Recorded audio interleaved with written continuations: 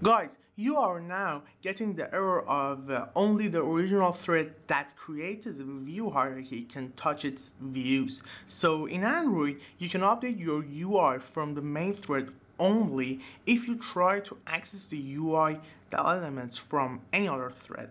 Then, then you're actually going to encounter this error that I said earlier in the video. So the actually the main part is this you are going to write and run all of your code on the main UI thread that we are going to name it main thread. And you can use any other thread.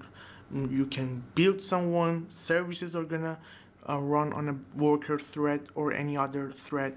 Your solution has two steps.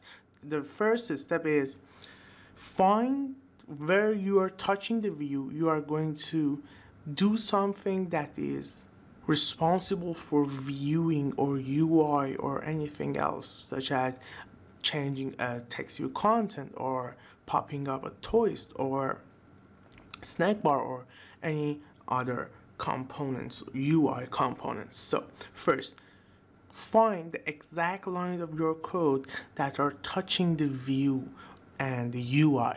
Then copy all of them and do the things that I'm telling you right now. First, we have to run we have to create a runnable object. Runnable object is that simple stuff is it's real simple.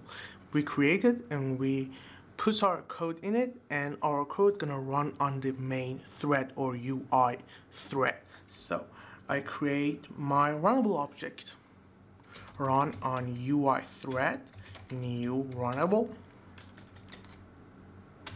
and we are done. Now I can do toys, I can actually get the text view, change it, or anything else. This was your solution. It's very simple. Guys, I'm begging you, subscribe to my channel, comment down below, like my videos, encourage me. I'm 100% free for you and I'm gonna upload more videos as fast as I can. Bye.